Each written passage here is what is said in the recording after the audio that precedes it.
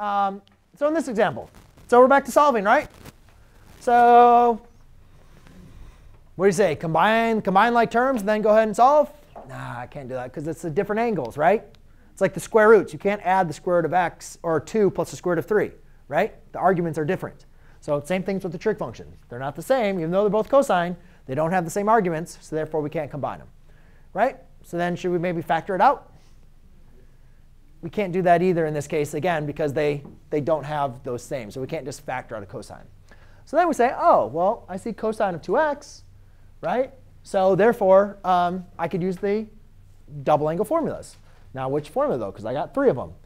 Piece of advice, typically when you're solving, you want to keep things in terms of sines and cosines. You don't really want to, you know, sometimes there are equations where we do solve with sines and cosines. But typically, we want to have everything in terms of sines or cosines. So therefore, I believe this is 2 cosine squared of x minus 1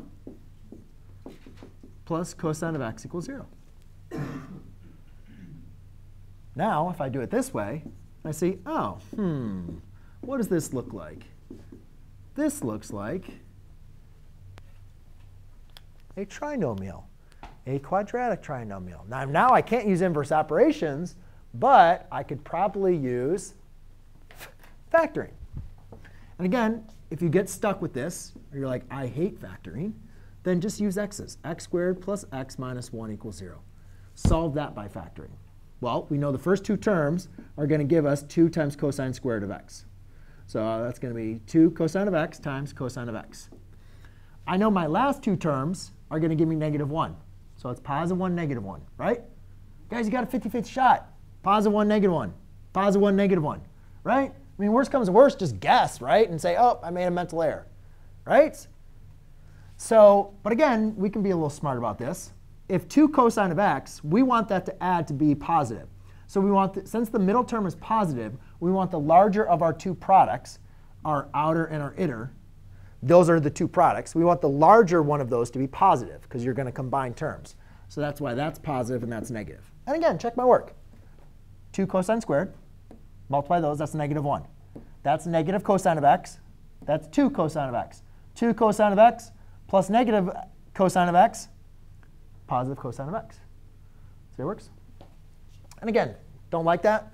Try, do, do the mental math with your x's. Okay? But now, since I have a product equal to 0, I can apply the 0 product property. Man, so glad we did so much of that. All right, um, then I can say, I think I asked you to find all the solutions on 0, 2 pi and all solutions. So let's do well, let's solve these first. So I use my inverse operations to isolate the trig function. All right, and then I can say for all the solutions, I'm basically looking on the um, unit circle. When is cosine of x equal to 1 half? So cosine of x, let's see, it's going to be pi over 3 and 5 pi over 3. Good. And then cosine is equal to negative 1 at? pi right? negative 1 comma 0, so it's negative 1x. What'd you say, 3 pi halves? 3 pi halves, sine is equal to negative 1. Um, and then b. Now this one actually might be thing. So what did you do?